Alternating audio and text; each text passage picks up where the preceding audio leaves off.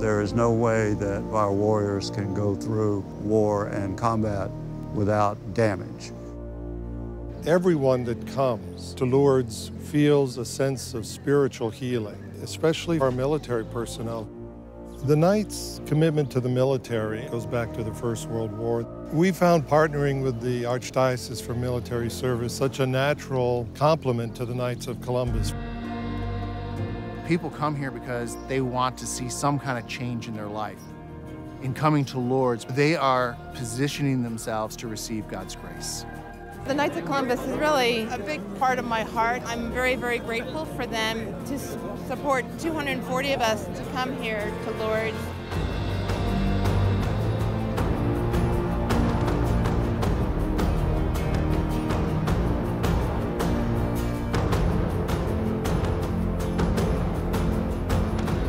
Lourdes offers a place for healing that uh, really sets the foundation to not only heal internally, but as a community.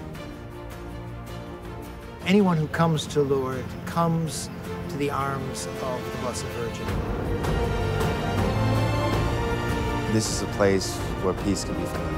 And coming here just really allowed myself to get a little closer to God.